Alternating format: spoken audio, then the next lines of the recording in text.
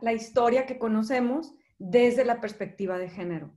Entonces, mi, mi estrategia fue construirles pues una narrativa de esa historia que va en orden cronológico, eh, pero no nos vamos a detener en fechas porque la historia, la historia se tarda, la historia es muy tardada, ahorita parece como increíble porque todo lo tenemos inmediato y puede pasar algo que cambie por completo nuestras vidas, pero en realidad los procesos históricos van a ver ustedes que abarcan 100, 200, 300, 400 años, ¿sí? Entonces sí vamos a hablar de grandes épocas, pero no vamos a hablar así de que este periodo empieza en tal y se termina en tal, porque son finalmente, por eso el feminismo usa la imagen de las olas, que luego vamos a usar, ¿no? Pero son finalmente, son procesos muy largos, son procesos graduales, claro, hay revoluciones, pero incluso las revoluciones en retrospectiva tardan en suceder, ¿no?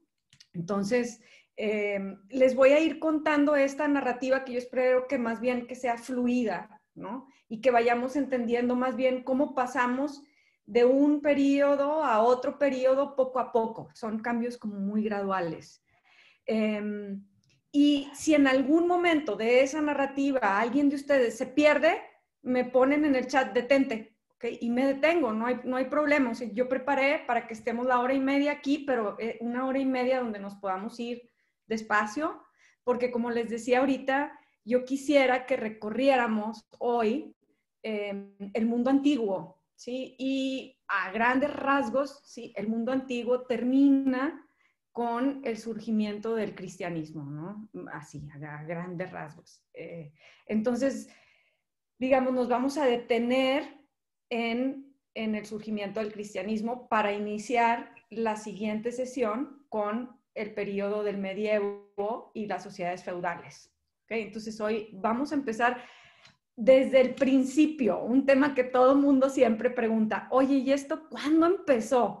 pues hoy vamos a tratar de, vamos a tratar de ver si podemos ver cuándo empezó. No hay fecha y hora exacta, pero sí tenemos una idea.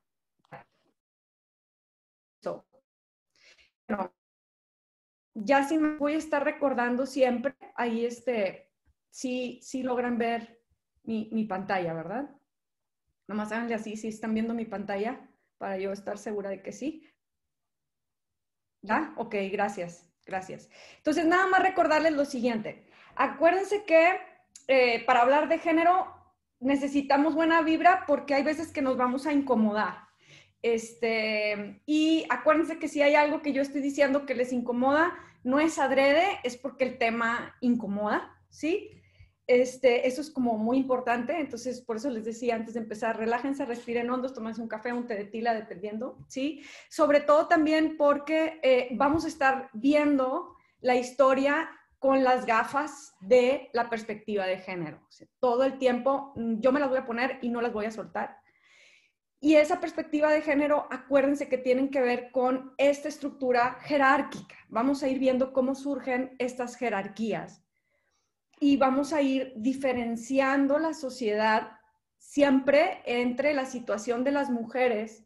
Y para poder entender la situación de las mujeres, que somos la mitad de la humanidad, pues hay que compararla con la de los hombres. Por eso se llama perspectiva de género. Entonces voy a estar hablando de hombres y mujeres. Como ustedes saben, este curso es de historia de las mujeres, entonces yo estoy en esa distinción binaria de hombres y mujeres. Eh, no voy a hablar a menos que alguien quiera que me detenga un poco sobre la diversidad de género. Me parece que eso es un tema que va un poco más allá de las ambiciones del curso. De por sí, 5.000 años en hora y media es muy ambicioso. Si alguien quiere que yo diga algo al respecto de la diversidad, lo, podemos hacer también, ¿no? Entonces, bueno, Em, vamos a empezar y vamos a hablar generalmente del mundo antiguo. Y quiero decirles que toda esta presentación la basé principalmente en dos lecturas, aunque van a ver que no todo está en las lecturas, también tomé de otros materiales, pero principalmente utilicé este libro de Gerda Lerner que se llama La creación del patriarcado, que esta edición es de, de los 90 y la verdad es un libro que para quien le gusta la historia es, maravilloso. Gerda Lerner lo que hizo fue irse a, estoy viendo, alguien que está rayando la, pantalla.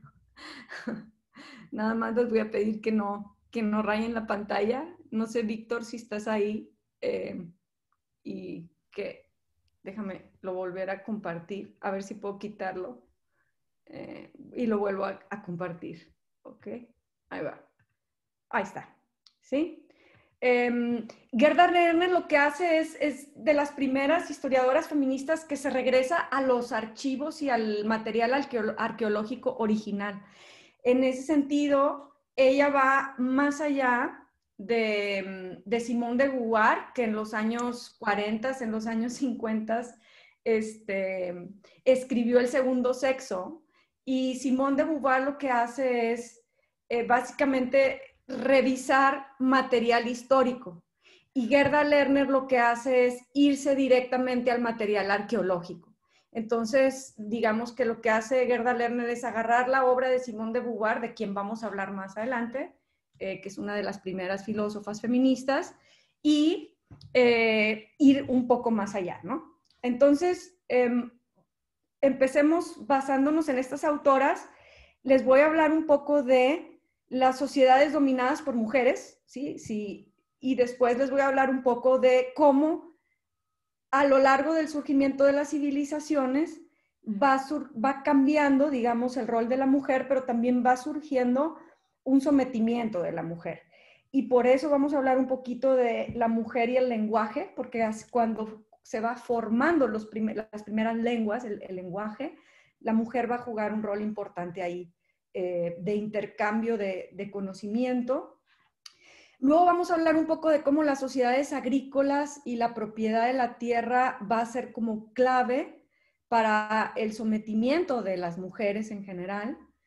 Y vamos a ver cómo al consolidarse esos sistemas de sometimiento, la esclavitud y el patriarcado, es decir, el sometimiento de los hombres y de las mujeres, casi casi van de la mano para terminar, como yo les decía, con la religión, las primeras, la primera religión monoteísta y el surgimiento del monoteísmo que va a derivar después en todo lo que fue la civilización occidental eh, en el cristianismo. Eh, también quiero decirles que me voy a enfocar a Occidente más que nada. No, no voy a hablar del México prehispánico, por ejemplo, eh, o no voy a hablar de China y del Islam, aunque sí vamos a ver algunas cosas ahí que tienen que tiene el Islam en común con el surgimiento de, las primeras religiones, ¿no? Pero me voy a enfocar a Occidente, que digamos es como la cuna de nuestro mundo actual, ¿sí? Em, bueno, las sociedades dominadas por mujeres, este, no hay, ¿ok? Nunca hubo. Pero como quiera lo quiero decir, eh, porque pues me parece importante. Nunca, nunca en ningún periodo de la historia del mundo mundial las mujeres dominaron a las mujeres o a otros o a los hombres. Nunca hubo un sistema de dominación femenina. Eso es importante porque acuérdense que cuando yo les definí el patriarcado, yo les dije, el patriarcado es un sistema de dominación. ¿sí? Y entonces ahí las mujeres nunca han sido parte o han estado en, digamos, la la, parte del poder que domina sobre otros. Sí ha habido sociedades donde las mujeres ocupan un lugar más igualitario con los hombres. Y esas sociedades fueron las sociedades primitivas, ¿sí? Es decir, las primeras mujeres que formaban parte de estos grupos, ustedes saben, de cazadores recolectores que, que poblaron la tierra, ¿no? Em, eran mujeres que se repartían, digamos, la reproducción de la vida con los hombres. Y finalmente es interesante porque en las sociedades cazadoras recolectoras, las mujeres eran responsables, de acuerdo a Gerda Lerner, pero básicamente, de más de la mitad de los alimentos que se consumía en el grupo humano. Es decir, la caza era una parte que no era tan importante a veces como las semillas y las plantas que las mujeres proveían. Entonces, en ese sentido, eh, en las sociedades primitivas, piensen ustedes en, la imagen eh, clásica de, la era de las cavernas, ¿sí? Em, las mujeres estaban a la par a la par de los hombres en estas sociedades, ¿no?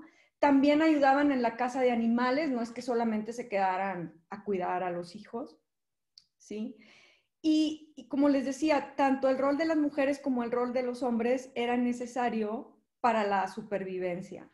Em, es importante, yo les decía, el género tiene que ver con las expectativas sociales y el sexo tiene que ver con la sexualidad y no vamos a negar el rol reproductivo de la mujer. Entonces, la mujer obviamente siempre ha sido gestante, es decir, la que tiene a los hijos, aunque el cuidado de los hijos se daba usualmente en como parte del grupo, o sea, más que como vida en pareja, ¿sí?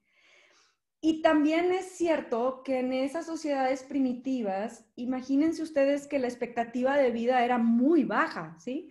Nada más no pierdan ustedes de vista que la expectativa de vida de los seres humanos cambió dramáticamente a partir de 1950, o sea, hace bien poquito, con el desarrollo de los antibióticos y la penicilina. Antes de 1950, lo más que uno podía vivir eran 40 años, ¿sí? Lo más. Y en esta época de las primeras sociedades primitivas, pues hay autores, aunque hay mucho debate, que dicen que si bien había gente que vivía más, pues más o menos la expectativa de vida era de 25, 26 años. ¿Sí? Entonces, no estamos hablando así de, gran, o sea, digamos que la mayor, si nosotros viviéramos en esa época, la mayoría de las que estamos aquí conectadas no estaríamos, ¿sí? Este, ya, habíamos, ya hubiéramos sobrepasado la expectativa de vida de la época, ¿no? Eh, y otra cosa importante que obviamente las condiciones alimentarias pues variaban mucho conforme variaba también el clima, conforme variaba también el territorio, la búsqueda de alimentos. Entonces no siempre las mujeres podían cuidar a sus bebés. ¿Se acuerdan que yo les decía? O sea, los mamíferos solamente alimentan a las crías viables, ¿sí? Entonces, cuanto más cerca estamos de, digamos, de una organización de vida animal, pues más cerca estamos de esa lógica. Entonces, sabemos que las sociedades primitivas practicaban el infanticidio en el sentido de que había bebés que no, que no se cuidaban, ¿sí? O que había veces que el grupo humano no podía simple y sencillamente cuidar a los bebés. Este, y la expectativa de vida era muy baja. Pero digamos que la relación entre seres humanos eh, era una relación, digamos, de lo que nosotros pudiéramos llamar básicamente, em, pues la división social del trabajo, ¿no? Entonces, esto quiere decir, eh, así a grandes rasgos y para no ser reiterativa, ¿no? En, en, las sociedades primitivas lo que sucedía era, em, tanto hombres como mujeres contribuían a la reproducción del grupo, cazando y recolectando cuando la mujer que estaba obviamente no tenía las capacidades de casa y de producción que tenían los hombres y por lo tanto sí había un momento en que las mujeres se dedicaban más al proceso reproductivo, pero se daba como en medio de una división del trabajo, ¿sí? Em, ahorita voy a hablar de las reinas, todavía no llegamos a, ahí, aguántenme tantito, ¿sí? Em, que si no existía el prejuicio de la menor fuerza de la mujer, pues no, porque en el, el prejuicio, acuérdense que es una construcción social y estamos hablando de sociedades primitivas. Ni siquiera, imagínense que aquí todavía el lenguaje no se desarrollaba por completo. La gente se comunicaba en signos, ¿sí? Eh, la forma de representación del mundo era muy concreta. ¿Se acuerdan? Incluso en Mina todavía hay este, el tema de que pintaban en las cuevas las representaciones, o sea, de sí mismos, ¿sí? Entonces, sí, efectivamente, las mujeres también cazaban y eran físicamente tan resistentes como los hombres. Estaban, claro, obviamente, el parto siempre ha sido eh, de riesgo, ¿no? Entonces, digamos, este, había un riesgo al momento de embarazarse, había un riesgo al momento de, cuidar a los bebés, pero no había una diferenciación en términos, digamos, de fortaleza entre hombres y mujeres. Entonces, quizás para reiterar un poquito más, y, con esto ya paso a lo siguiente, esa imagen que tenemos en la cabeza del cavernícola que sale a cazar y la mujer que se queda y el cavernícola le trae la casa y etcétera, no, no, es, es un mito moderno, ¿sí? Eran sociedades igualitarias, los dos cazaban, los dos, las mujeres principalmente se dedicaban a recolectar, en ese sentido tenían un papel primordial en el grupo.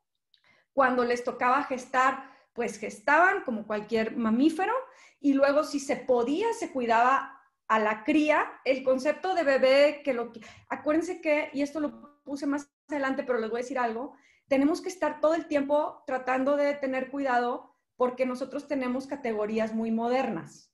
Entonces, a veces las aplicamos al pasado y por eso vamos a hacer todo este recorrido, ¿no? Yo no digo que no hubiera amor de, toda la vida, ¿sí? Pero la idea de amor es una idea muy social, ¿sí? Cómo uno demuestra el amor, pues tiene que ver con la sociedad, ¿no? Este, y eso lo vamos a ir viendo. Por eso vamos, apenas vamos empezando, ¿sí?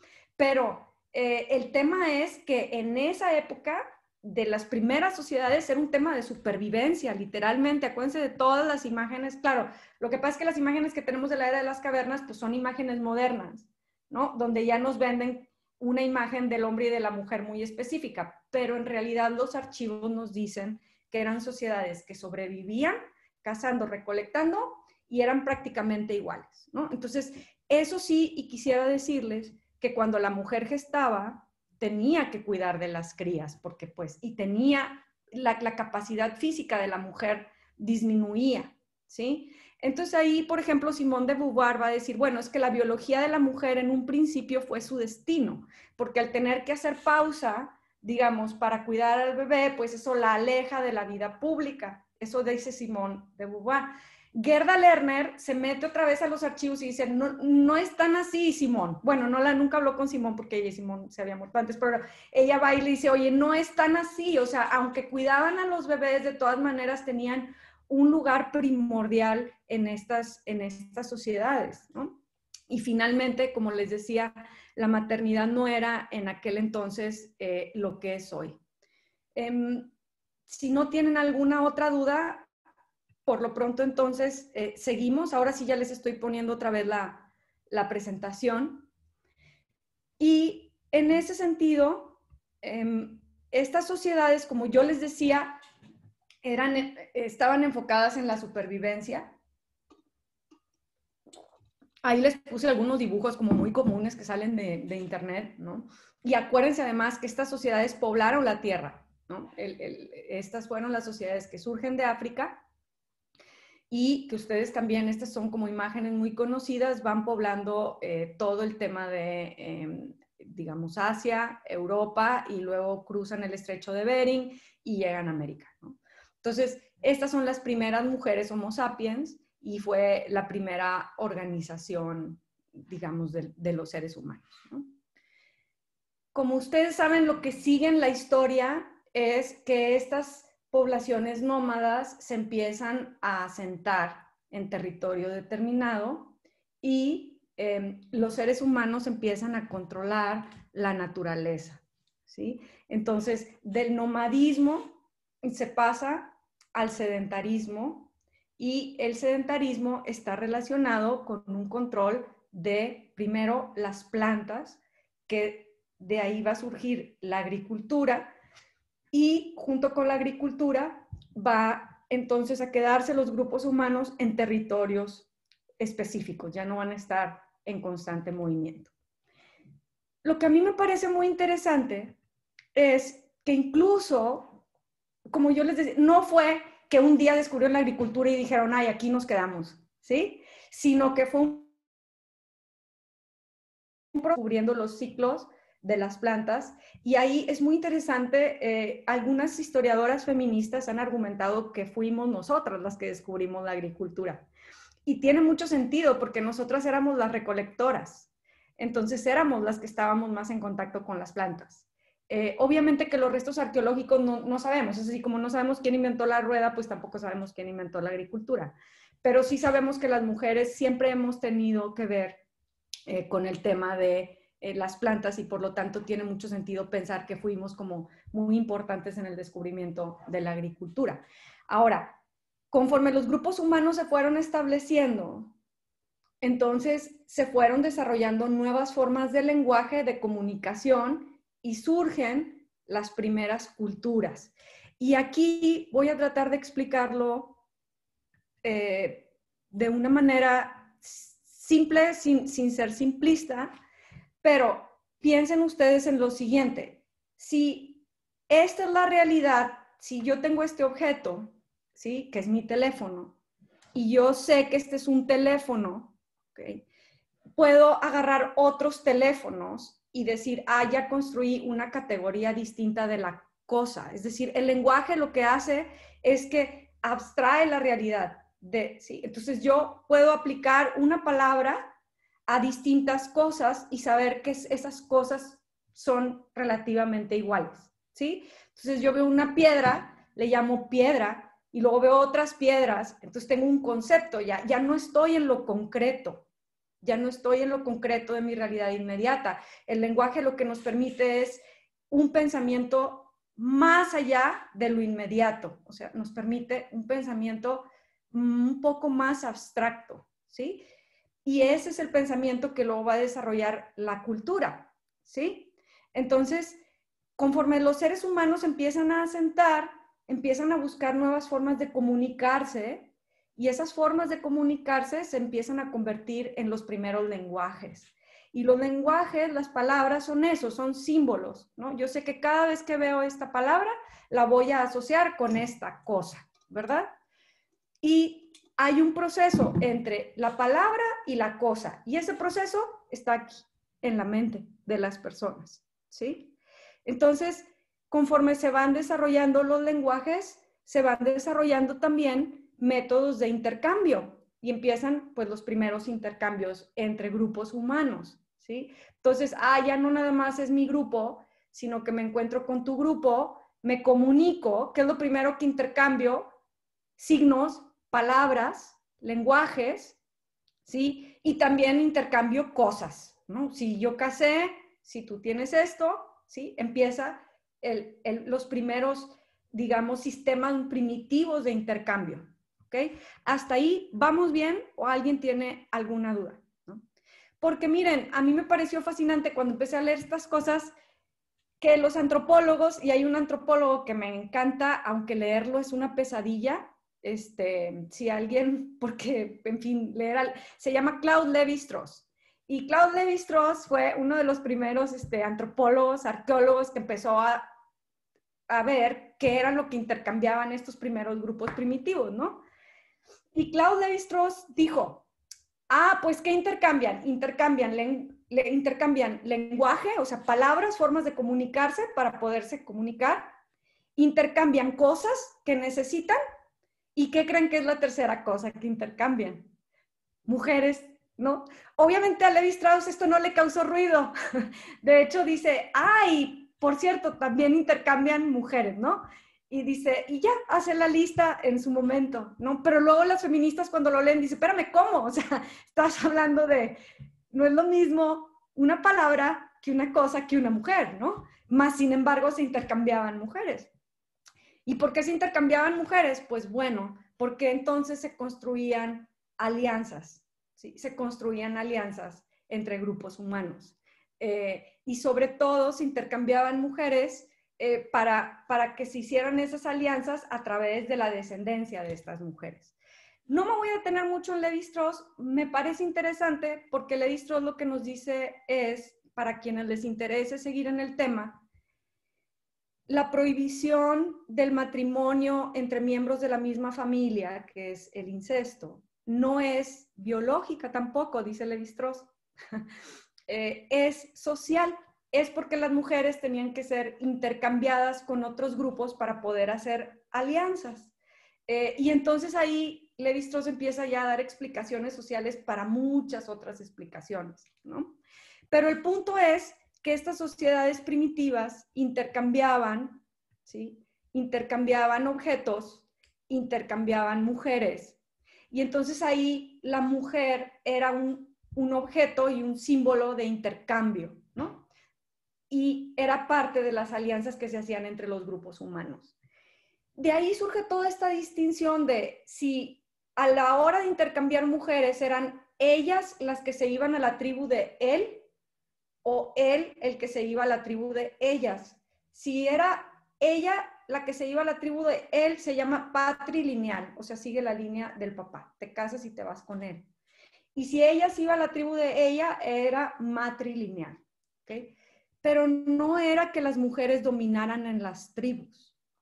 Porque finalmente era un intercambio entre grupos humanos, ¿sí? En donde la mujer no necesariamente podía decidir, Es importante que yo les aclare esto porque la sesión pasada una de ustedes me, preguntaban, me preguntaba por el matriarcado. Vamos a estar hablando del matriarcado, pero no es lo mismo una sociedad matriarcal que una sociedad matrilineal, aunque son similares, Porque mm, el hecho de que te vayas a vivir a la tribu de ella no le da a ella necesaria más poder sobre las decisiones. Y finalmente las mujeres ya desde esta época nos convertimos en un objeto de intercambio masculino, ¿sí? Entonces, ahí es interesante porque ya empieza a haber una diferencia clara de poder entre hombres y mujeres, ¿sí? En esas sociedades primitivas, aunque las mujeres eran igualmente importantes que los hombres, cuando las sociedades empiezan a comunicar, las mujeres se convierten en un objeto de intercambio y los hombres no. ¿sí? Ahora, ¿por qué sucede eso? Por la estructura de los grupos humanos, ¿sí? Por, ¿Por qué finalmente son procesos históricos, digamos, inexplicables? Que aunque los podamos explicar, eso tampoco quiere decir que no los podamos cambiar, ¿sí? Pero el hecho es que así se dio. Es decir, en estos grupos, las mujeres, dado que eran las encargadas de la descendencia, eran eh, las que se intercambiaban. ¿Ok?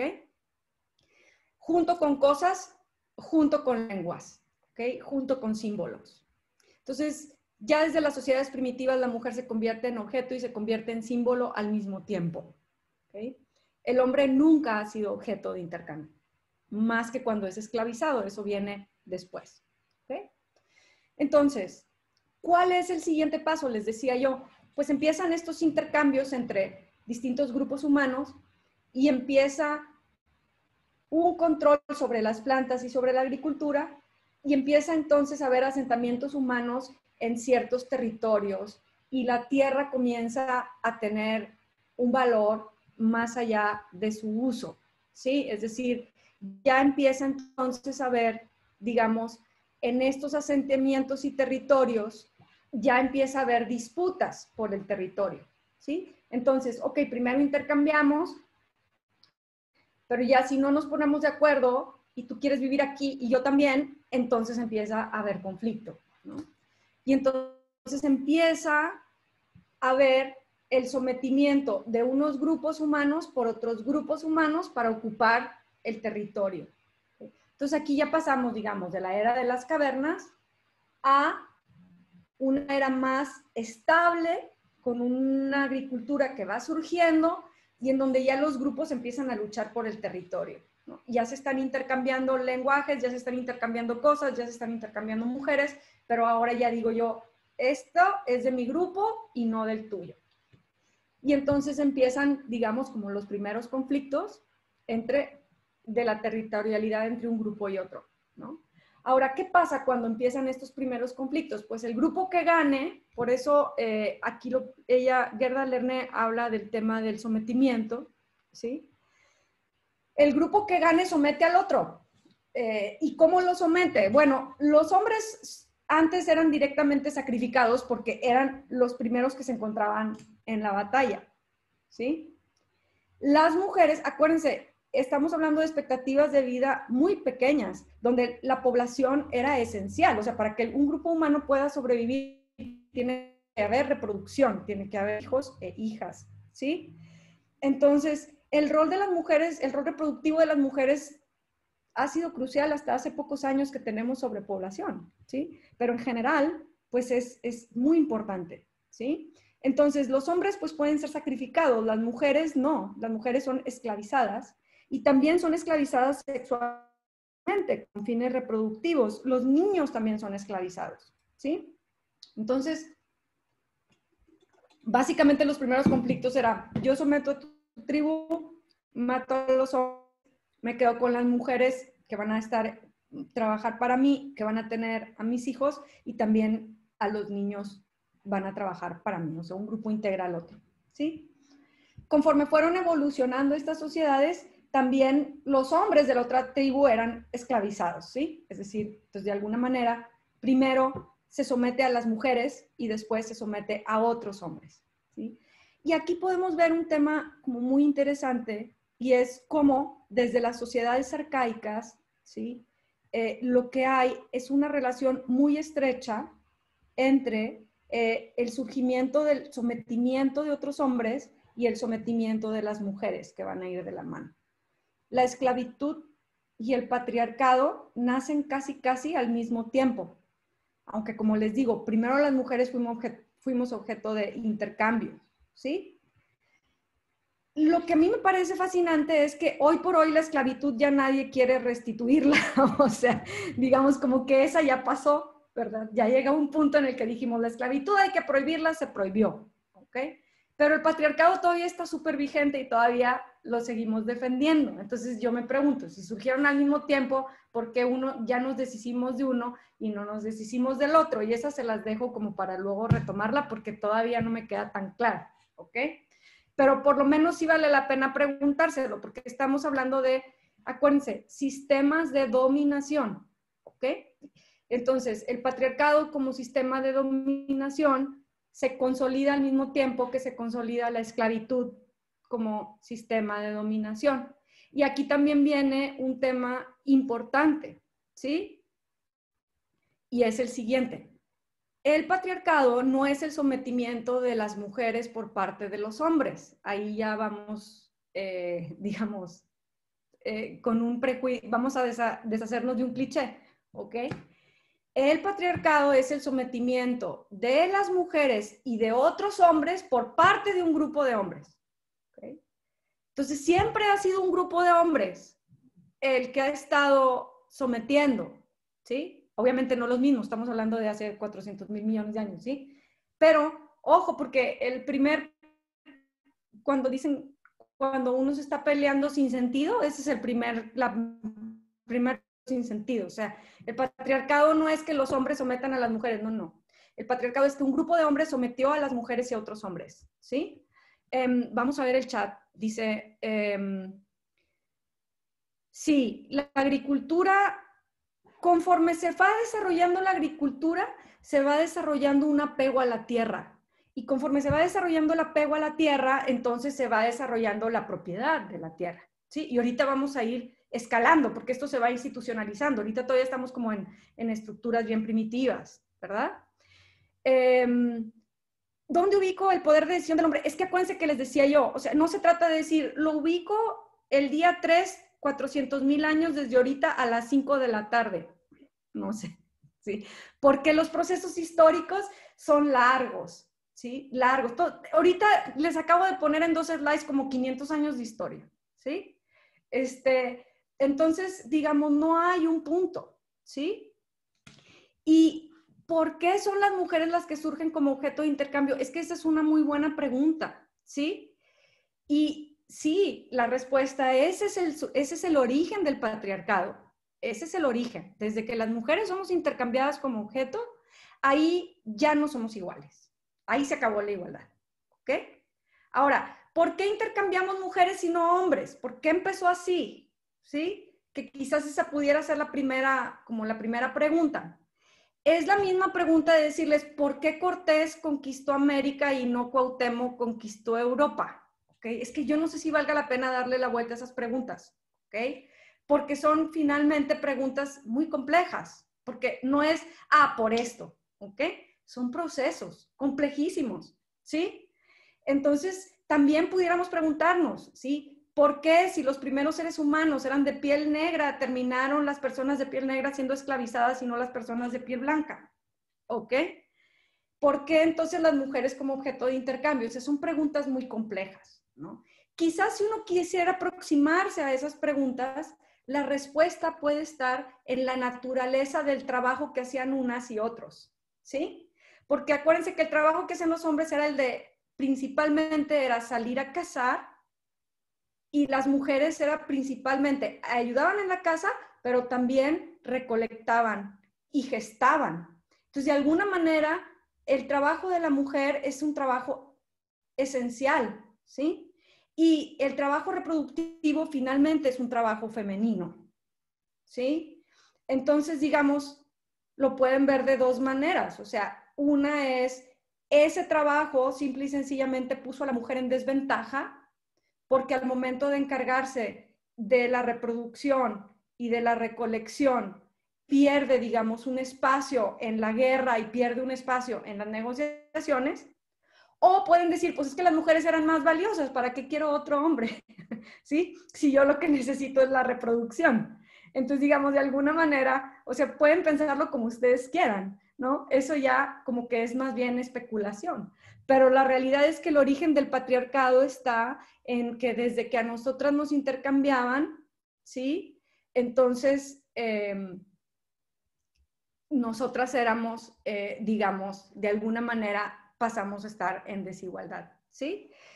Em, y sí, efectivamente, durante esta época, em, la, mayor parte de las personas pues vivía en cuevas y, algunos se refieren a estas personas como cavernícolas, aunque en realidad vivían en muchas otras partes y más bien lo que hacemos es llamarles como sociedades primitivas, ¿no? Ahora, ¿qué sucede entonces conforme se empieza a asentar la propiedad de la tierra? ¿Sí? Y conforme este grupo de hombres establece su dominio sobre otros hombres y sobre todas las mujeres, entonces la división del trabajo entre hombres y mujeres ya se empieza a ser más estable y las mujeres empiezan a estar, digamos, cada vez más a cargo de la reproducción. Ahora, si ustedes se fijan, nosotras siempre hemos sido entonces, estamos en contacto con las plantas y estamos en contacto con los bebés, estamos en contacto con la fertilidad. Por eso les digo que probablemente tuvimos un rol crucial en el descubrimiento de la agricultura. Y si yo les digo que se empiezan a generar sistemas de símbolos y se empiezan a generar las primeras deidades, pues es lógico que si las deidades tienen que ver con el misterio de la vida, las primeras deidades fueron deidades femeninas, ¿sí? Entonces, las primeras deidades eran esas diosas de la fertilidad que tanto nos muestran en la primaria, en la secundaria y que vemos en todos los museos, porque finalmente las mujeres éramos quienes estábamos asociadas con dar vida y también con las plantas y por lo tanto con la tierra. Entonces, por eso las primeras divinidades eran mujeres, eh, eran las diosas y casi todas las figurillas de las diosas de la fertilidad son todas femeninas, Entonces es interesante porque acuérdense que les dije, nos convertimos en objeto de intercambio y en símbolo de alianzas y también nos convertimos en un símbolo divino. ¿sí? Entonces aquí surgen las primeras diosas y las primeras divinidades. Ahora, las sociedades se van asentando en los lugares fértiles, probablemente esto también les suene, que son, digamos, esta parte de Medio Oriente que conocemos como Mesopotamia y las, primeras civilizaciones mesopotámicas se van a desarrollar en esta parte verde que les digo aquí entre el Nilo, el Éufrates y el Tigris, ¿sí? Em, y ahorita entonces lo que voy a hacer es tratar de irles contando un poco cómo estas sociedades mesopotámicas se van, se van desarrollando en base pues a este sistema patriarcal que ya para ahorita ya está establecido. Es decir, ya para en este momento eh, lo que empieza a suceder es que conforme se van asentando las civilizaciones, se empiezan a desarrollar instituciones. Y esas instituciones son prácticas que se repiten en ciertos grupos humanos y, digamos, estos grupos empiezan a institucionalizarse de manera cada vez más compleja.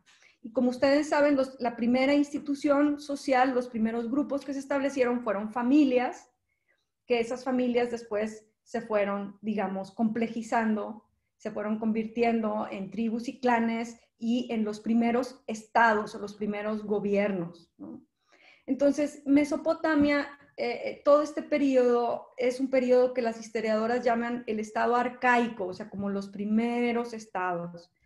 Es difícil imaginárselos, aunque tenemos algunos imaginarios de las películas de los faraones, por ejemplo, de la civilización egipcia, ¿no? Eh, y de todas estas sociedades, eh, los, sumerios, los babilónicos, etcétera.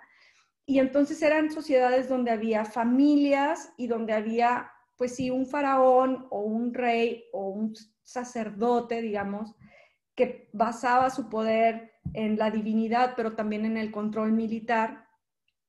Y se empezaron, empezaron a construirse las grandes civilizaciones que conocemos hoy en día. De hecho, cuando terminemos la sesión de hoy, pues vamos a terminar precisamente con el surgimiento del monoteísmo, en donde ya la civilización egipcia pues estaba en su máximo esplendor y pues el, gran icono de esas civilizaciones son las pirámides, ¿no? Que a muchos de nosotros y a muchas de nosotras nos fascinan. Pero si, si ustedes se fijan, son procesos muy graduales, muy graduales, donde ciertas prácticas se van repitiendo, se van repitiendo y se van institucionalizando. Y también son procesos que se cuentan siempre desde las clases altas, ¿no? Pareciera que todo el mundo en Egipto fueron faraones o diosas y dónde está el resto de la gente eh, desaparece en todas esas leyendas y narrativas. Entonces, las feministas también otra cosa que hacen es decir, oye, había mujeres, pero también había pues gente sometida, ¿no? Y, y esa gente también tenía su propia historia, ¿no? Entonces, les voy a presentar más o menos cómo el patriarcado se consolida en estas sociedades y básicamente hay una diferencia entre cómo se consolida en las clases altas y cómo se consolida en las clases bajas. ¿sí? Entonces, bueno, en las clases altas la mujer se convierte entonces, si se fijan, en un vínculo más formal con la tierra y con acceso a recursos económicos. Ya, pero fíjense cómo no es nuevo, ya éramos objeto de intercambio desde antes, por eso les digo que las cosas no se inventan de un día para otro, ¿ok? Pero se formaliza esta relación entre la propiedad de la tierra cuando se hacían alianzas entre familias, pues la mujer era la que llevaba la dote y usualmente la dote era un pedazo de tierra. Y si las personas se divorciaban en estas sociedades, se tenía que regresar la tierra. Ahora, al momento del matrimonio, el hombre pasaba a ser dueño de la esposa y dueño de los hijos y podía usar de ellos como quisiera. Otra vez, porque eran objeto de intercambio, ¿sí? Entonces, cuando yo les digo dueños, digo dueños, es decir, tenían derecho de vida o de muerte sobre sus hijos y sobre su esposa. Ahora, también es importante, ¿sí? Que a través de la dote y de la tierra de la dote, eh, había una condición de que esas tierras iban a ser, digamos, heredadas por la familia y esa herencia iba a pasar obviamente al hijo mayor y por lo tanto, si una mujer era casada, tenía que darle hijos a su esposo. Era parte de poder conservar su dote y de poder permanecer en el matrimonio. Si no, el esposo la regresaba. Ahora, piensen ustedes, es más fácil entenderlo así. Mujer viene con tierras. Regreso a la mujer, regreso a la tierra. La herencia es a través de los hijos. Si no da hijos, también la puedo regresar. Y bueno, dependiendo, había veces que se podían quedar con la tierra, había veces que no. ¿Ok?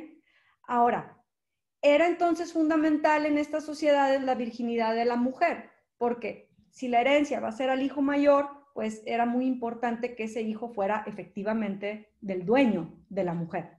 ¿Sí? Entonces era muy importante que la mujer que era dada en matrimonio, pues no hubiera sido y lo voy a poner así entre comillas, utilizada por alguien más, ¿sí? Porque era la que iba a garantizar la herencia. Entonces es muy interesante porque la mujer no, nunca tuvo acceso a la propiedad ni poder de decisión sobre la propiedad, pero era a través de ella que se intercambiaba la propiedad. Por eso les digo que siempre hemos sido objeto de intercambio, ¿sí? Y la virginidad estaba asociada a esa relación entre las mujeres y la tierra, ¿sí? Conforme se fueron desarrollando los, los sistemas de gobierno, conforme se fue desarrollando el Estado, pues empezaron a crear leyes que regulaban todo esto. Antes eran nada más acuerdos entre familias, pero conforme se fue institucionalizando, pues esos acuerdos fueron pasando al Estado, ¿sí? Ahora, em, también es importante decirles, y déjenme, les comparto pantalla, que sí, efectivamente, como me están poniendo ustedes ahí en el chat, el tema del el intercambio de mujeres siempre fue un tema como que varía de una sociedad a otra. Eh, sí es verdad que en ciertas élites era permitido el casamiento entre personas de la misma familia, precisamente porque no necesitaban el intercambio de tierras, simplemente se consolidaba la propiedad de la familia, ¿sí? Eh, y conforme estos arreglos se fueron, digamos, formalizando, también se fue formalizando el matrimonio como institución y como un contrato regulado por el Estado. Y como la mujer y la tierra van juntas, si una mujer queda viuda, se tiene que casar con los familiares de la familia del esposo. Porque acuérdense, lo que importa no es la mujer, sino la tierra que viene con la mujer. Es un arreglo económico ante todo. ¿sí? El tema del romance y todo eso es de hace poquito. Entonces, la mujer es un objeto de intercambio asociado a la tierra desde las sociedades primitivas y lo que vamos viendo es que esto se va volviendo cada vez más sofisticado.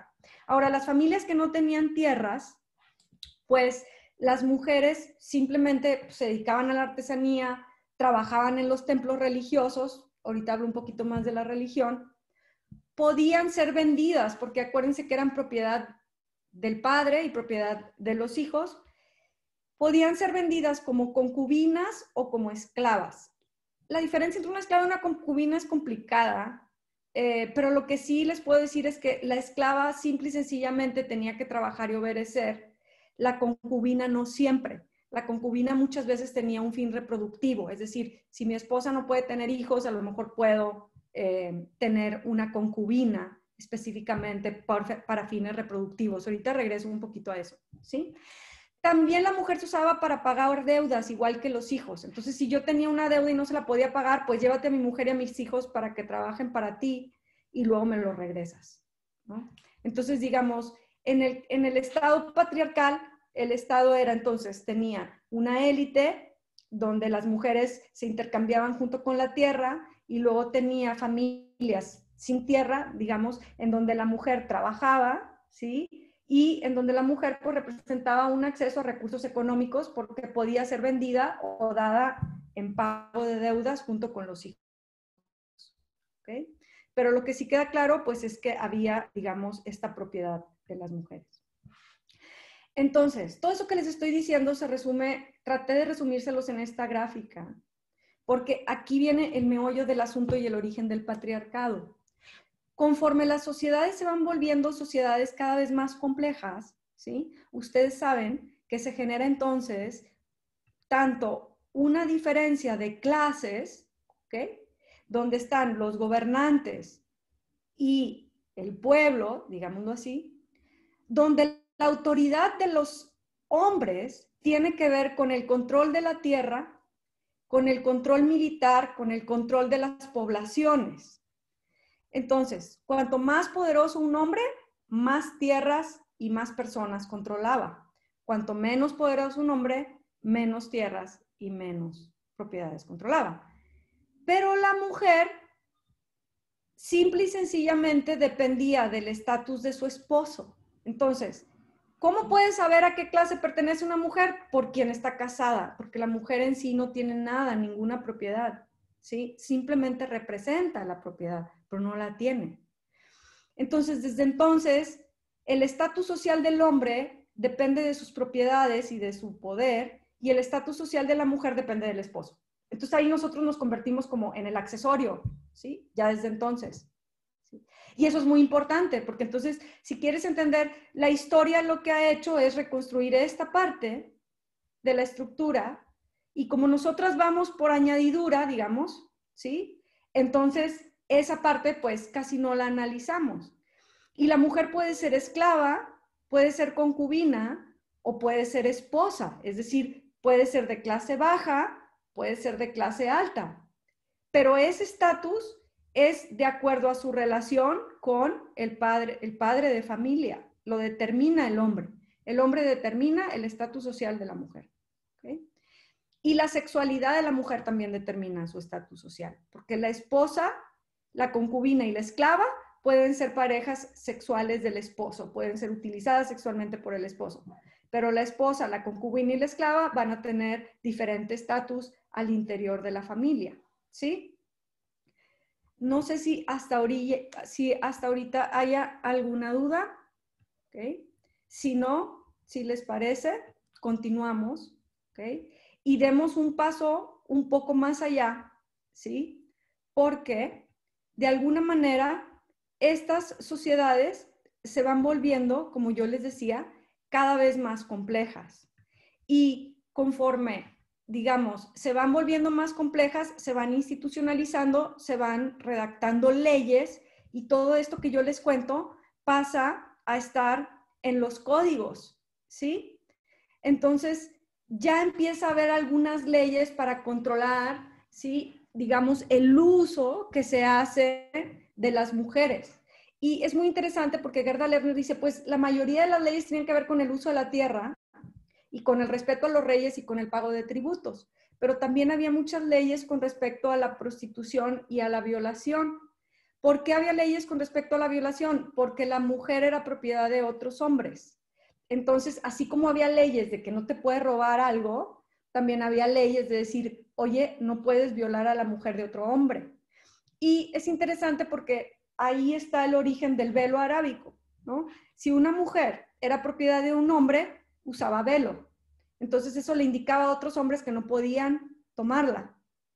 Y si era una mujer pública, entonces era una mujer que cualquier hombre podía tomar. O sea, no había ninguna garantía. Es así como pues, ves una cosa en la calle, no le pertenece a nadie, vas y la agarras. ¿Ok?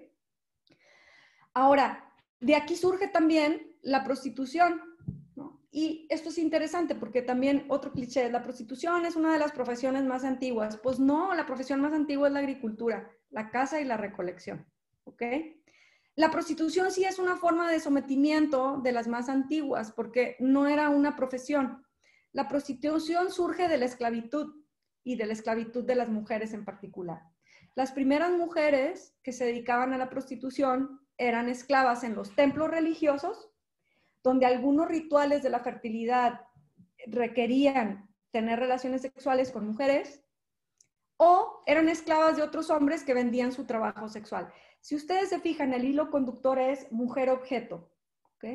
Mujer-objeto asociado a la tierra y a la reproducción, donde la reproducción se daba a través de relaciones sexuales y esas relaciones sexuales eran parte del servicio que la mujer le daba al hombre, ya sea como esposa, como concubina o como esclava. Entonces, estas mujeres públicas que no tenían dueño, pues eran prostituidas, ya sea en los templos o en, en, lugares donde eh, los servicios sexuales de estas mujeres eran vendidas. ¿no? Todo esto que les cuento se va empezando a escribir en las leyes, en el código de Hammurabi hay leyes con respecto a esto que yo les estoy contando. Obviamente todos estos registros ya eran escritos por hombres, porque como les digo, las mujeres éramos accesorios ya desde entonces, y se consolida el sistema patriarcal y el sistema de clases. Y conforme se consolida el sistema patriarcal y la agricultura se empieza a institucionalizar y la esclavitud se empieza a institucionalizar, pues las diosas de la fertilidad aparecen ahora como compañeras de hombres, pero siguen estando en las civilizaciones antiguas. Entonces, estas civilizaciones que yo les cuento tenían como símbolos dioses y diosas, y bueno, cada dios tenía su diosa, ya sea su hija o su hijo o su compañero, y más o menos todas estas diosas siguen como en épocas antiguas asociadas a la fertilidad y al parto. Entonces ahí podemos ver cómo en común, entonces tú ves el panteón, ves las diosas antiguas y casi todas tienen en común que están relacionadas con el erotismo, la fertilidad o la maternidad. Isis, Afrodita, Venus, Ashera en Canaán, Hera y Milita en Asiria. O sea, todas las deidades divinas siguen siendo asociadas a la fertilidad y todas estas deidades divinas siguen estando asociadas, digamos, a la reproducción. Y todas ellas consolidan la figura de la esposa. ¿ok? Es así en el mundo antiguo, es así en la antigua Grecia, donde además de la esposa, las mujeres siguen siendo concubinas, siguen siendo trabajadoras sexuales. También hay bailarinas y músicas, que son las mujeres públicas. En Roma hay algún registro de que hay leyes más a favor de la mujer, pero sin embargo siguen siendo excluidas de la política. Y hay quienes, Simón de Beauvoir habla de la sociedad de los espartacos, que era una sociedad guerrera en el mundo antiguo, donde las mujeres eran más igualitarias a los hombres porque no había propiedad de la tierra. la tierra era trabajada en comunidad. Entonces, el sometimiento de la mujer está relacionado con que es un objeto de intercambio y es un objeto de intercambio asociado a las transferencias de la tierra a través de la herencia. Y la herencia se da a través de la reproducción y por lo tanto de la sexualidad. Por eso es muy interesante cómo el patriarcado realmente está basado en la servitud sexual, ¿sí? En una servitud sexual que era sancionada por las leyes si era la esposa, si era la concubina o si era la esclava. Y, digamos, regulada si era prostituida por su dueño o con fines religiosos. Pero entonces el sometimiento de la mujer tiene que ver con el sometimiento de su función reproductiva y de su sexualidad. Entonces, por eso uno puede entender por qué hasta hoy es un despiporre cuando hablamos de que nosotras queremos decidir qué hijos tener, porque eso sí es un cambio radical, porque el origen de nuestro sometimiento es que no podíamos decidir cuántos hijos tener, ¿ok? Entonces, imagínense, de estas mujeres hasta 1950 que se descubre la píldora, todo el tiempo que ha pasado, lo vamos a recorrer en otras sesiones. Pero el punto es tú, ¿por qué tanto escándalo por una píldora? Porque es el origen del patriarcado, es controlar la reproducción de la mujer, ¿sí? Y se controla porque finalmente esa reproducción se asocia al transmitir la propiedad y el poder económico, ¿sí? Y ahí es bien interesante que las mujeres somos objeto de intercambio, no propietarias, ¿sí? El que es propietario es el hombre, ¿ok? Y de alguna manera nosotros pasamos a ser parte de esas propiedades, ¿ok? Ahora, em, hasta aquí, no sé si alguien tenga alguna duda. ¿Sí? Porque esas, digamos, ese es el origen de las sociedades patriarcales y esas sociedades que vienen, como yo les decía, de Mesopotamia, que eran politeístas, em, se van, digamos, a consolidar en una estructura jerárquica que va a dar origen al moderno Estado-nación, o sea, a nuestra sociedad occidental. Pero entre estas primeras civilizaciones y el Estado-nación hay un cambio fundamental. Y este es un cambio no tanto en la tecnología, sino en nuestra visión del mundo, que es el monoteísmo, es decir, es pensar que el origen de la vida solamente es uno y que ese origen de la vida que es uno, lo podemos entender a través de nuestra relación con esa divinidad. Entonces, digamos, la relación con la trascendencia, con la divinidad, se vuelve una relación que está permeada por una estructura social que cada vez se va convirtiendo más compleja. ¿Sí? Em, entonces, no, no había, como te digo, no había sociedades matriarcales porque nunca nosotras fuimos, eh, digamos, nunca tuvimos, nunca, estuvimos, nunca dominamos, ¿sí? Ahora, el surgimiento del monoteísmo y de las relaciones, de las religiones monoteístas son, es importante porque lo que, lo que hacen, de alguna manera, es decir, es esa capacidad de imaginarse una realidad, una realidad abstracta, ¿sí? que tiene que ver con eh, el surgimiento de una voluntad divina, ¿sí?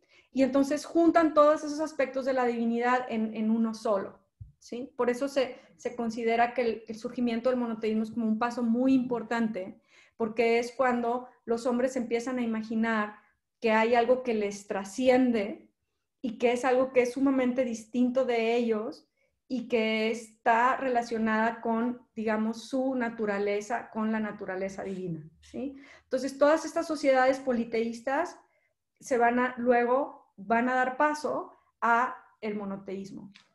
Y como ustedes saben, la religión, la primera religión monoteísta y la que más influye en Occidente, pues fue eh, el judaísmo. Y sobre todo eh, el judaísmo porque de ahí, digamos, basado en el Antiguo Testamento, en la Biblia, y luego de ese Antiguo Testamento surgen pues todas las grandes religiones mundiales y obviamente pues las grandes religiones occidentales. Pero el surgimiento del monoteísmo es después del patriarcado. Es decir, cuando la gente me pregunta, oye, ¿qué onda con el patriarcado y la religión? ¿No? Pues si yo les estoy diciendo que el, que el patriarcado es un sistema de dominación, pues es un sistema de dominación que es previo a las religiones como las conocemos ahorita. ¿Sí? Entonces, em, quisiera dedicarle la siguiente media hora a explicarles pues, los fundamentos del, monoteísmo occidental. Y para mí es muy importante que ustedes vean la continuidad entre, es, si ustedes se fijan, hay una continuidad entre las sociedades primitivas y digamos, el mundo antiguo y el monoteísmo. Y esa continuidad que yo les estoy repite y repite, perdón, pero es que para mí es como muy importante no, no soltar el hilo, ¿sí? Es la mujer como objeto de intercambio, la mujer como asociada a la tierra y la mujer como propiedad de los hombres y otros hombres como propiedad de los hombres, ¿sí? Entonces eso hace una jerarquía y un sistema de dominación. Nada más que si tú eres hombre, el sistema de dominación es distinto porque tú vas a ser dominado dependiendo de la tierra que controles y de tu control sobre otros hombres. Pero si eres mujer, vas a ser dominada dependiendo de tu relación con los hombres. Entonces ahí ya nosotros les digo, vamos siendo accesorios. Y eso no va a cambiar, ¿sí? Eh, y las primeras versiones del, del Antiguo Testamento, del judaísmo, retoman estas ideas, ¿no? Les digo, las cosas no salen de cero, de repente, ah, ya se les ocurrió que hay un Dios y punto y se acabó. No, hay muchas continuidades. Y eh, Gerda Lerner hace un análisis de estas continuidades. Les voy a mostrar otra vez mi, PowerPoint. ¿Ok? Y obviamente lo que va a decir es, mm, hay que entender, para poder entender estas continuidades y el surgimiento del monoteísmo, pues necesitamos documentos históricos, ¿no? Y pues yo les pregunto a ustedes, ¿cuál es el documento histórico de la época del judaísmo? Este, digamos, el, que todo mundo conoce, pues es la Biblia, ¿no? Entonces, con el temor que eso me causa, vamos a tener que analizar la Biblia como documento histórico, porque si no, pues no estaría yo cumpliendo con mi deber de explicarles el origen del patriarcado, ¿sí? Y eh, entonces aquí nada más, obviamente, Em, quisiera aclarar dos cosas antes de empezar. La primera es, cuidado con traer al presente realidades históricas. Este, ni el cristianismo, ni el judaísmo, ni ninguna religión es hoy igual a como era hace miles de años. Las religiones son dinámicas. ¿okay? Eh, yo no sé si hoy se conectó mi querida amiga y colega Ana Pornoy, que sabe mucho más de la historia del judaísmo que yo, y si está conectada y quiere decir algo o me quiere mandar un chat, adelante. Probablemente si hay entre ustedes quienes hayan leído la Biblia propiamente, sepan más que yo, entonces también adelante de opinar. Eh, vamos a tomar la Biblia como documento histórico, no como una interpretación de la fe. Entonces, obviamente ya sabemos todo el mundo que la Biblia no se interpreta literalmente, ¿ok? Eh, pero vamos a tomar hoy, vamos a ir un poquito más allá y no solamente, eh, no la vamos a interpretar literalmente, sino que la vamos a leer como un documento que es producto de su época, ¿ok? Y aquí yo sí quisiera aclararles, nos vamos a basar nada más en el libro del Génesis, ¿ok? Eh, que es el libro que las historiadoras trabajan ¿Y por qué en el libro del Génesis? Porque de acuerdo a los arqueólogos, el Génesis resume 400 años de historia. O sea, el Génesis en realidad es una serie de escritos que se recopilaron y luego vamos a llegar cuando hablemos del medievo, ¿no? Para empezar, la, la decisión de qué libros iban en la Biblia y todo este tema lo vamos a tratar después. Pero el Génesis se escribe, todo mundo, las historiadoras y los arqueólogos opinan que el Génesis se escribió entre el siglo X y el siglo V antes de Cristo, Es decir, que ustedes lo ven así como un librito, pero en realidad se escribió a lo largo de 400 años, ¿no? Y es un libro, se escribió a lo largo de 400 años y lo escribieron distintas personas, hombres, que eran los que tenían acceso a la escritura, las mujeres ya éramos accesorio en aquel entonces, acuérdense, ¿sí? Y también es importante que por lo mismo que, que, que abarca 400 años de historia, retoma el contexto en el que fue escrito. Entonces, si bien habla del judaísmo, también retoma eh, aspectos de la cultura mesopotámica, es decir, vamos a ver en el Génesis em, la continuidad entre el mundo mesopotámico, sumerios, babilonios, cananitas, egipcios, ¿sí? Y, digamos, el surgimiento del monoteísmo. O sea, vamos a ver cómo agarran todos esos elementos y los condensan en uno solo, ¿no? Y bueno, para quien le interese, en el libro de Gerda Lerner también habla un poco de que son tres momentos en los que se escribió. Hay veces que en el Génesis se habla de Yahvé, hay veces que se habla de Elohim como la divinidad, ¿no? Pero digamos, yo para efectos de la presentación voy a estar hablando de un Dios, que es ese, esa divinidad común al Nuevo Testamento, y recordarles entonces nada más que estamos hablando de un documento que nos habla de la estructura social que predomina en el surgimiento del monoteísmo a lo largo de estos 400 años de historia, ¿no? Entonces, bueno, ¿qué nos dice ese documento?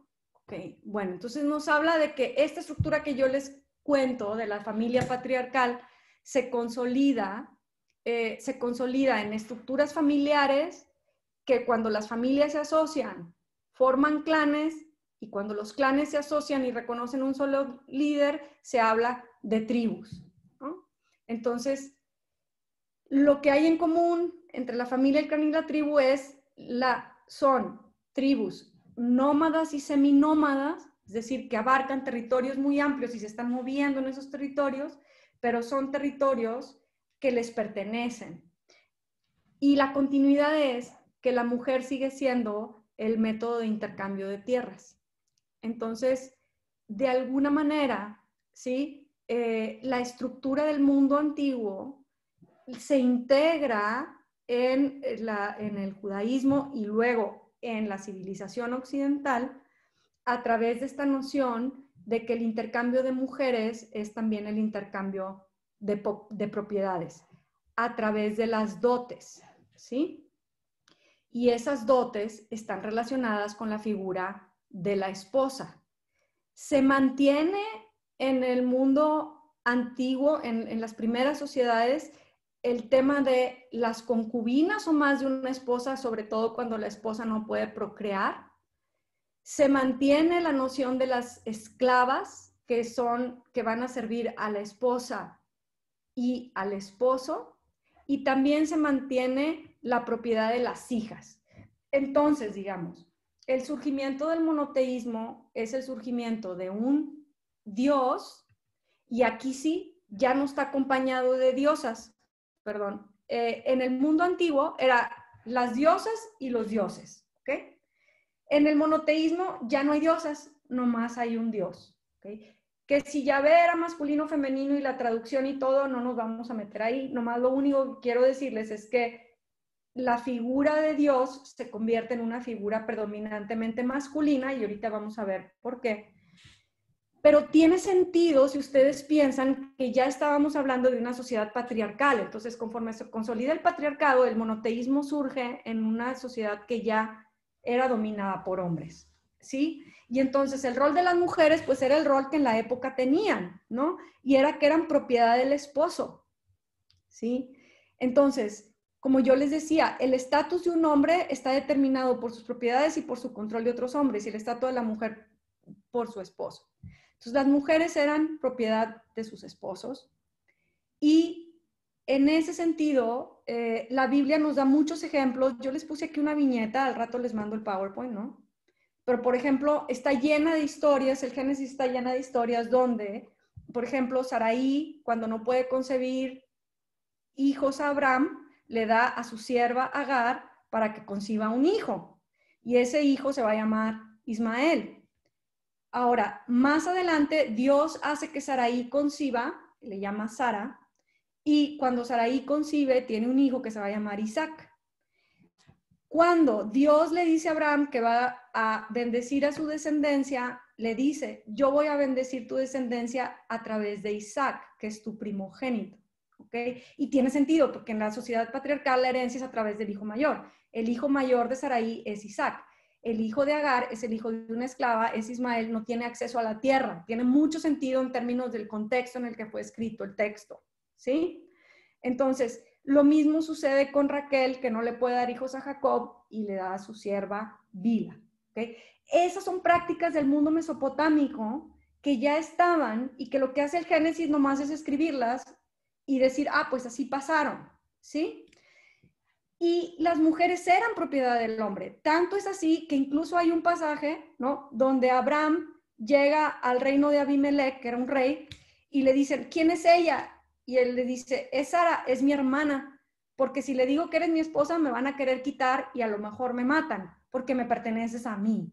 Entonces, por robarme me pueden matar, ¿sí? Entonces, Abimelech, de hecho, como piensa que Sara no tiene dueño, nomás es hermana de Abraham, la toma, ¿ok? Y luego cuando se da cuenta que era esposa de Abraham, se la regresa.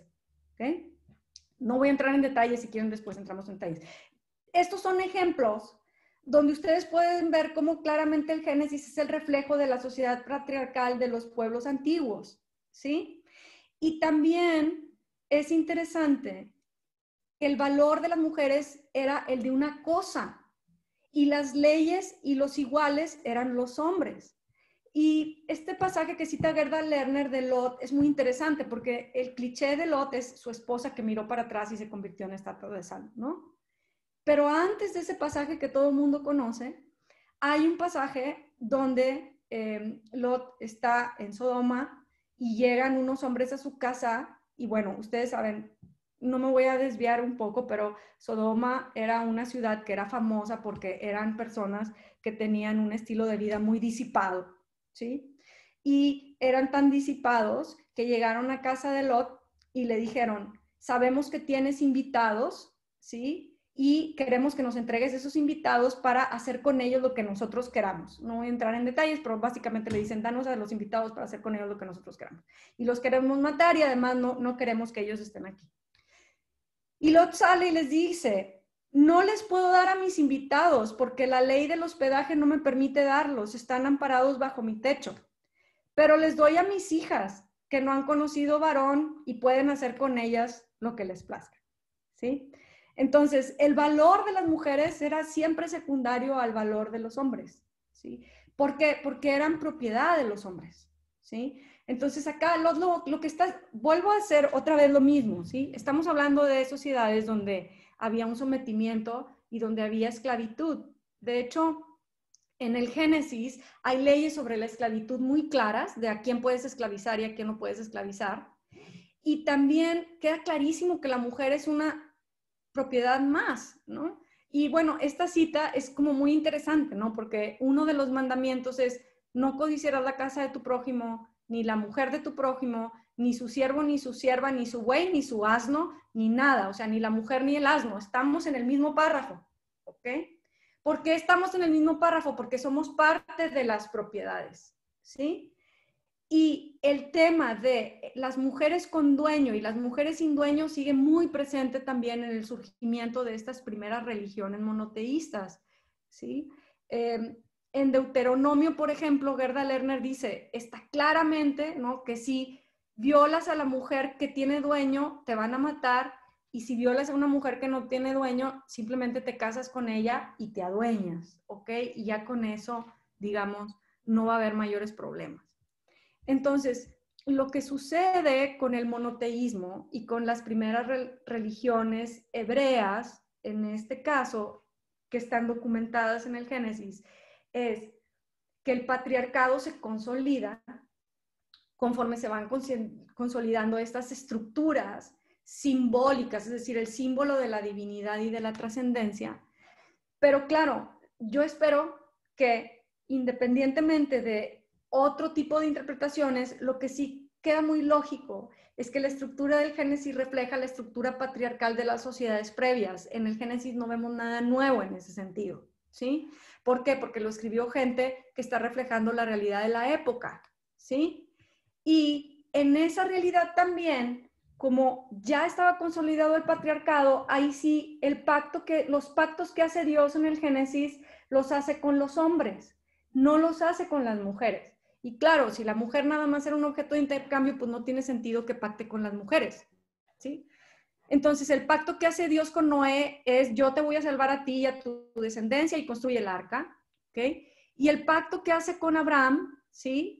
Tiene que ver con el tema de eh, tú vas a ser mi pueblo, ¿sí?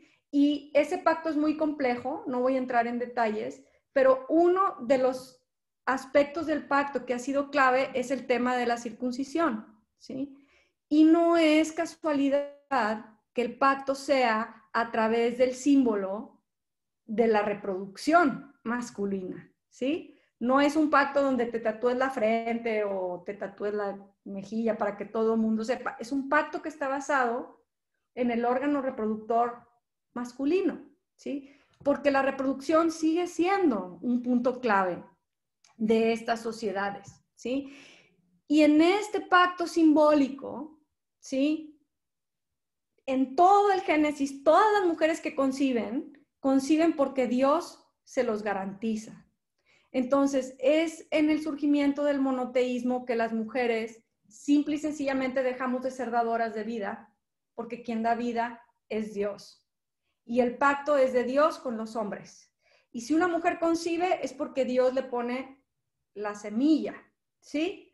Entonces, simbólicamente, el patriarcado, digamos, que en la práctica ya estaba establecido, en el Génesis lo que hace es, se convierte en un pacto divino, Se convierte en una visión del mundo y del más allá. Y esto va a ser importante, ¿sí? Porque en este pacto la mujer se va a convertir ya en lo que era, pero en el imaginario, ¿sí? En un elemento de reproducción y es en un elemento en donde la reproducción se le va, digamos, a separar de la sexualidad, ¿sí? Si se fijan, es un tema de servidumbre sexual y de reproducción que ya estaba, pero lo que va a suceder en el Génesis es la mujer va a pasar a segundo plano también en términos divinos, ya no va a haber diosas, ¿sí? Y en la reconstrucción del Génesis, que vamos a volver a él después, porque luego va a haber reinterpretaciones de las escrituras, pero por lo menos en el Génesis, ¿sí? El árbol del bien y del mal no nada más es del bien y del mal, eh, se descubre la sexualidad cuando se descubre el bien y el mal. Los hombres Adán y Eva se descubren a sí mismos desnudos y la serpiente, que era un símbolo de fertilidad en el mundo antiguo, se convierte en enemiga de la mujer. Entonces, en la leyenda, digamos, del Génesis, ¿sí? Por un lado, entonces, las mujeres son propiedades de los hombres, el pacto solamente se hace con hombres y la mujer que da pie al surgimiento de la humanidad a través de la reproducción lo hace, pero despegada por completo de la sexualidad. ¿sí? Entonces, de alguna manera, en este pacto, ¿sí? En este surgimiento abstracto, en, este, en esta construcción simbólica del mundo, ¿sí? Em, el patriarcado estaba tan establecido que lo que hace es agarrar lo que estaba sucediendo, se registra en el Génesis y de ahí surgen como los grandes mitos, ¿no? Y es interesante porque este pensamiento abstracto va a ser el que va a dar pie a la filosofía, a la religión, a la ciencia, a la escritura, al conocimiento y al arte. O sea, ustedes ven el surgimiento que ver con el Antiguo Testamento. Y en el Antiguo Testamento, las mujeres estamos completamente excluidas de lo divino y excluidas de la trascendencia. Y de hecho, Gerda Lerner dice muy provocadoramente, si el patriarcado nos desposeyó de la tierra y del poder económico, la verdadera opresión es cuando nos quitan la relación con la divinidad. Porque a partir del monoteísmo nosotras ya no hablamos con Dios, nunca. Simplemente a través de los hombres. Nosotras no pactamos con Dios nunca. Entonces, no solamente tenemos acceso a la tierra desde el hombre, sino que ahora, a partir del monoteísmo, solamente vamos a acceder a Dios a través de los hombres. ¿sí? Y esos pactos a nosotras no nos concierne, ¿sí? Entonces así vamos a entrar a la Edad Media. Y en la Edad Media es cuando surgen las iglesias, ¿ok? Y ¿cómo vamos a entrar a la Edad Media? Vamos a entrar como el otro, el accesorio. Vamos a entrar a la Edad Media como mujeres que tenemos dueño o no tenemos dueño. Si tenemos dueños, nos tienen que respetar como propiedad de ese dueño y si no, no. Vamos a entrar sin sexo, maternidad sin sexo, fertilidad separada por completo del sexo.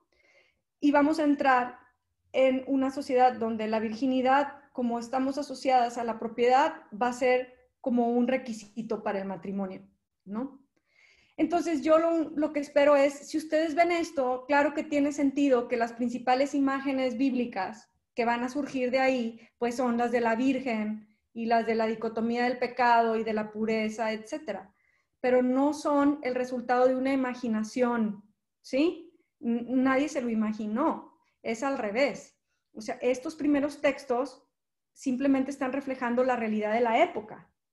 Y al reflejar la realidad de la época, después, la próxima sesión, ya vamos a ver cómo se convierten en ciertos mitos, ¿sí? Y en, el, y en la fundación de instituciones, ¿sí?